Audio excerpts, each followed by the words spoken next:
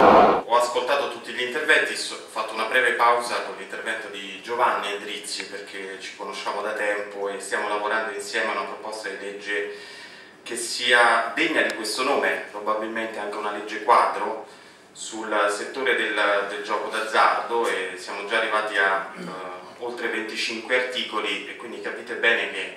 la materia è estremamente complessa, prevede lo studio della filiera delle ragioni per cui si è, arrivato, si è arrivati a questo punto, perché se non torni indietro nella filiera delle ragioni per cui si è arrivato a questo punto, non è il bandolo della matassa. Devo dire che invece ho trovato estremamente, estremamente interessante questo libro perché trovi dati e riflessioni che non trovi su internet o nella rassegna stampa che puoi, che puoi ricostruirti eh, dal web. Quindi è assolutamente un libro da leggere e che permette di uh, completare una visione che deve essere a 360 gradi. Abbiamo parlato anche di ricostruire la filiera delle ragioni per cui siamo arrivati a questo punto. No? Qualcuno ha parlato di peccato e il peccato etimologicamente era ciò che ti manca. E qual è stato il peccato originale? E ho sentito parlare anche di Foucault, il Movimento 5 Stelle entra in Parlamento e anche con, probabilmente con un non detto, un potentissimo non detto, perché a Foucault si, ante, si, si anteponeva in maniera perentoria, sia come caratteristiche di personalità, sia come filosofia, Derrida, che è il padre del decostruzionismo. Quindi noi siamo venuti qui anche per scomporre e ricomporre. In questa opera di scomporre e ricomporre però devi essere estremamente preciso, perché se no ti trovi a doverti giustificare per il fatto che fai delle accuse, fai delle accuse anche in aula, in Parlamento, di questa zona grigia,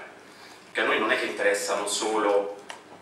i cosiddetti collusi o venduti, se vogliamo, al settore del gioco d'azzardo. Ricordo che c'è un video su YouTube di un assistente parlamentare del, del Senato della scorsa legislatura che, vero o falso che sia, denuncia che eh, in Senato passano ogni mese delle persone all'interno di alcune commissioni in settori particolarmente sensibili a dare la busta. Questa cosa non è mai stata, non è mai stata eh, se ne è parlato per quanto riguarda il gioco d'azzardo e anche per il settore farmaceutico. Questa cosa non è mai stata indagata con sufficienza.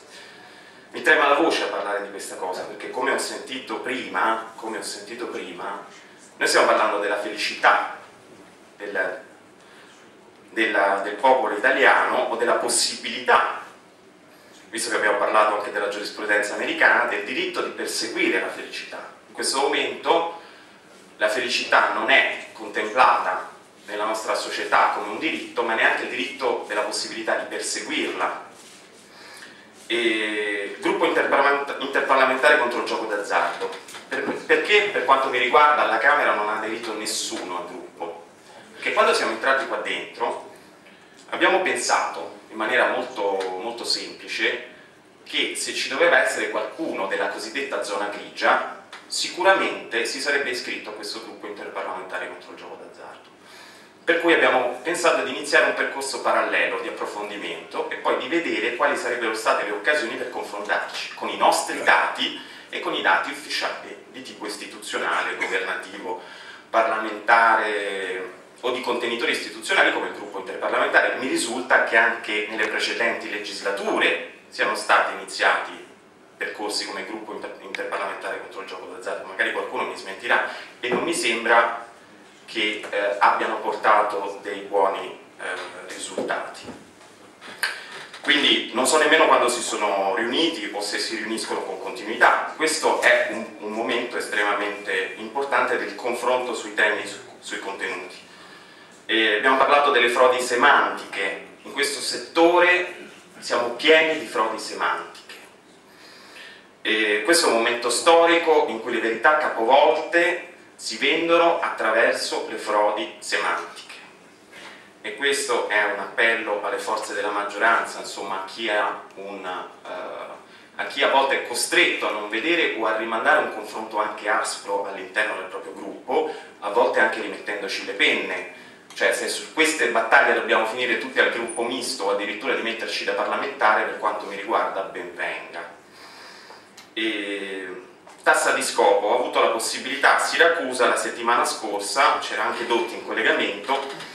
di commentare una delle sparate di Matteo Renzi e eh, questa sparata è stata relativamente al, al legame, io introduco subito il problema perverso,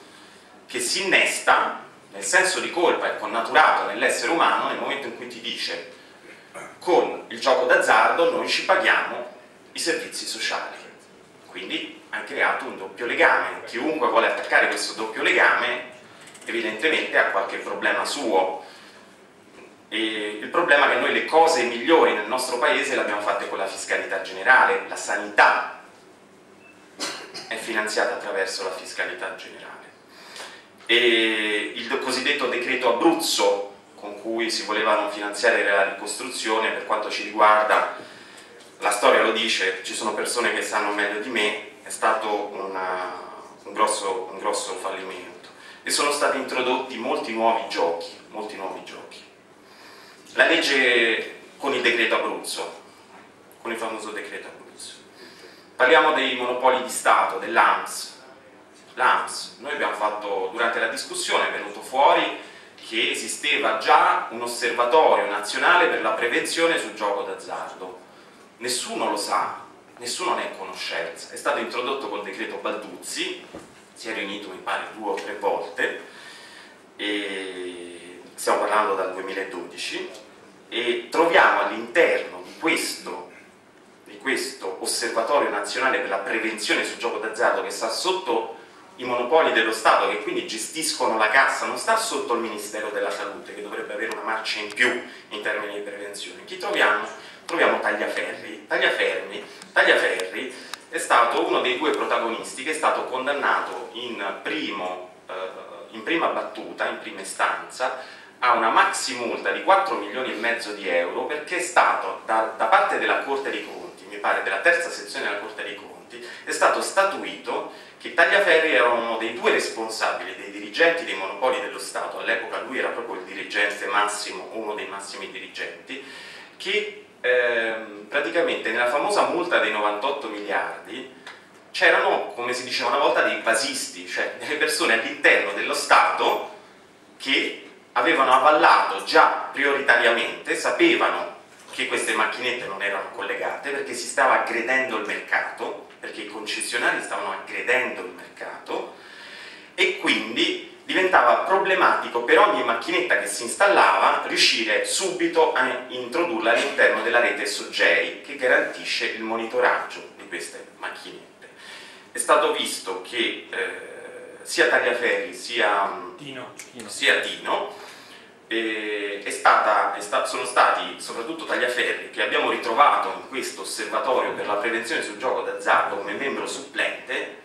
incredibilmente, quasi come a monitorare degli interessi che non fossero proprio, il, non fossero proprio il, il, la prevenzione. Prevenzione significa evitare che le persone si ammalino, sono direttamente collegate con l'offerta e parliamo di offerta in un momento particolare del gioco d'azzardo, perché questo è il primo anno, è il primo anno che il fatturato decresce, da 88 miliardi a 84 miliardi. Però cosa succede? Aumenta comunque l'offerta, per cui il livello di aggressione nei confronti delle cosiddette fragilità umane, cioè persone che altri, eh,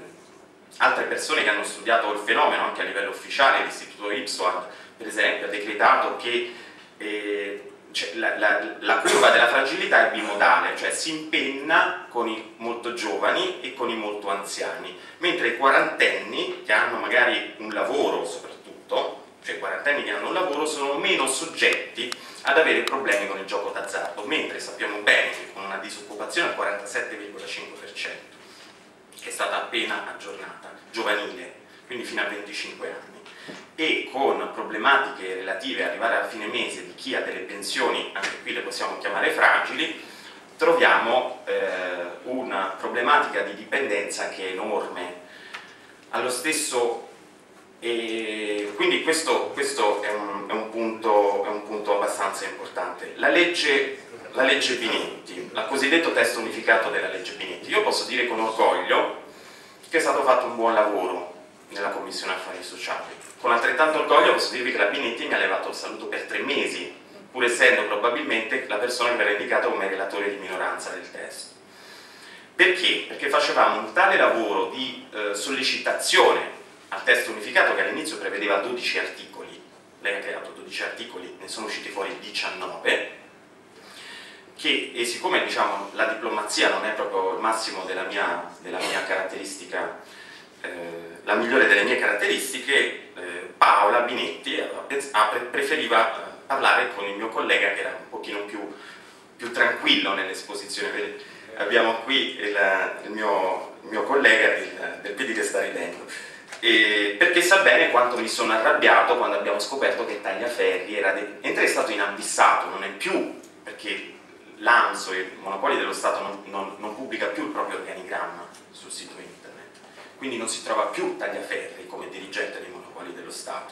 condannato dalla Corte dei Conti con dolo alla multa di 4 milioni e mezzo. Ho fatto vedere la mozione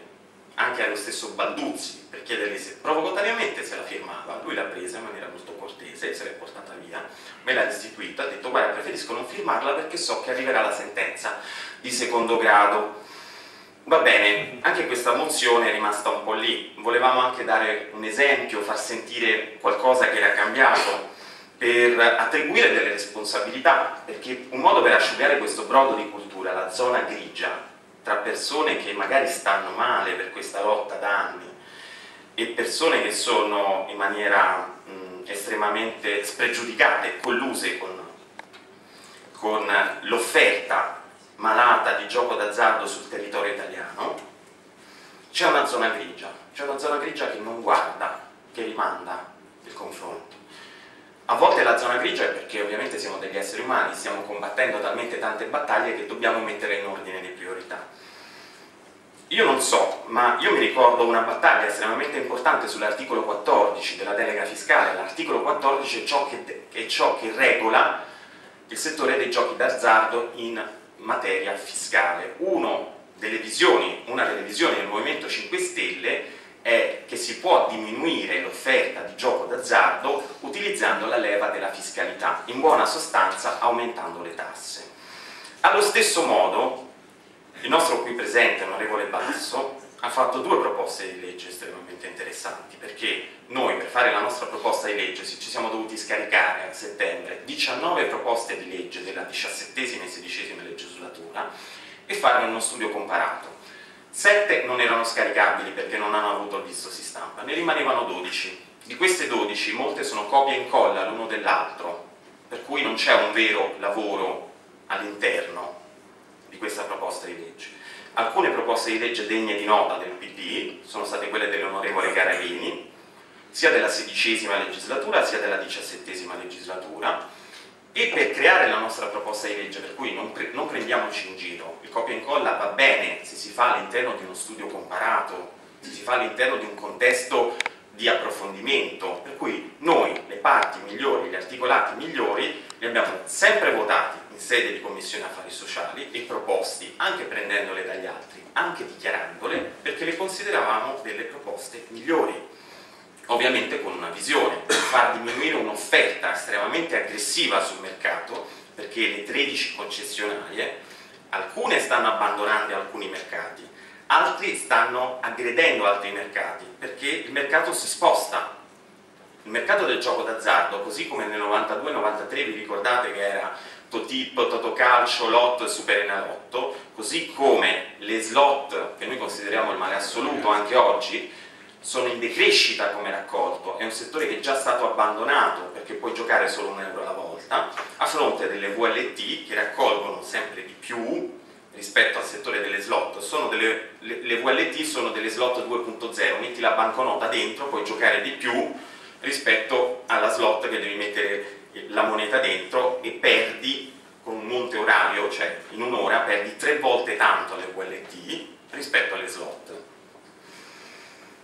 E queste cose sono da dire perché per tornare al discorso della delega fiscale l'onorevole Basso ha fatto una proposta di vieto assoluto, diretto e indiretto di pubblicità. tre articoli, inequivocabile, non puoi sbagliare. Poi arriviamo all'articolo 14, alla lettera AA, in cui c'è la ripetizione del divieto di pubblicità nel decreto Balduzzi che ha dichiarato di essersi scontrato con le lobby del gioco d'azzardo per cui prevede un divieto di pubblicità in orari in cui è possibile che i minorenni abbiano in via mh, mm, maggioritaria, adesso non mi ricordo, in via eh, nel momento in cui il cosiddetto bollino verde, bollino giallo e bollino rosso sulla televisione per farci capire, nel momento in cui c'è il bollino verde e il bollino giallo in teoria dovremmo avere il divieto del gioco d'azzardo. Poi c'è un'ulteriore parte in fondo che dice, non si capisce bene se questo è motivo di rimente per considerarlo vietato, che se non ci sono le cosiddette, ehm, le cosiddette dichiarazioni questo gioco crea dipendenza, effetti collaterali eccetera eccetera, come nel, caso delle, della farmacia, allora sei passibile di sanzione perché non hai informato. Questa è una prima, scusate il termine, noi siamo, ci caratterizziamo anche per essere eh, a volte ostili e sicuramente non, non, particolarmente diplomatici, questa è una prima supercazzola che troviamo nel decreto Balduzzi, perché non è possibile che noi ai mondiali di calcio troviamo il 700% di scommesse e scommesse con vincite in denaro, questo è gioco d'azzardo, che è aumentato durante i mondiali quindi adesso vedremo cosa fare anche in sede di vigilanza RAI, però anche noi, oltre a farci sangue marcio, rimaniamo basiti da questa situazione perché i cittadini ci segnalano a valanghe queste, queste situazioni e diciamo cosa possiamo fare? Possiamo prendere i, i nostri colleghi e, e, segnalarlo oppure fare, piantare una tenda davanti a Montecitorio, non lo so. Però sulla delega fiscale c'era l'introduzione del divieto di pubblicità nelle fasce protette delle trasmissioni radiofoniche e televisive, sempre per giochi con in denaro che inducono comportamenti compulsivi. Fermo restando che la delega fiscale non è legge, ma una dichiarazione di intenti che ha bisogno di un decreto attuativo per essere assolutamente inequivocabile, al Senato, con i voti del PD, è stata allargata questa maglia, che comunque è una maglia in cui un po' di pubblicità può passare, perché il PSI ha proposto che doveva essere inserito nel rispetto dei principi sanciti in sede europea relativa alla tutela dei minori. Noi siamo andati a cercare anche questo, principi in sede europea relativa alla tutela dei minori. A parte il fatto che non c'è nessun riferimento legge, di legge, quindi devi andare per parole chiave su Google, proprio for dummies, no? Abbiamo cercato in lungo e in largo e non c'è nulla, non c'è nulla, se non delle dichiarazioni di intenti estremamente vaga e l'intenzione che c'è un indicatore, diciamo, noi regoleremo questo settore in armonia con il trend europeo, cioè se la pubblicità la facciamo o non la facciamo, lo deciderà l'Europa, questo dice, cioè stiamo, stiamo, derogando alla possibilità di legiferare, perché stiamo dicendo nei, nei principi sanciti in sede europea relativi alla tutela dei minori. Cioè stiamo parlando di linee guida che sono estremamente liquide, vacue, che non possono essere utilizzate per creare una legge e l'onorevole Basso sa bene perché io già conoscevo la sua legge, così come l'onorevole Garavini li ho chiamati in causa in aula, abbiamo fatto un emendamento per ripristinare, almeno come era fatta prima, o per restringere e, e ripristinare il divieto di pubblicità in forma diretta e indiretta, per farci capire l'emerit, fumare è divieto diretto e indiretto. Questo tipo di razio volevamo noi e noi ci troviamo l'800% di scommesse mondiali con i ragazzini che ovviamente non vedono l'ora, si ricorderanno i mondiali per tutta la vita. E quindi questo è, prima, è, prima, è un primo pizzico che noi diamo al PD per vedere se riusciamo ad asciugare questa zona grigia, per chiamare le cose per cognomi e cognomi, perché noi quando abbiamo proposto il divieto di pubblicità in maniera diretta e indiretta ci siamo ispirati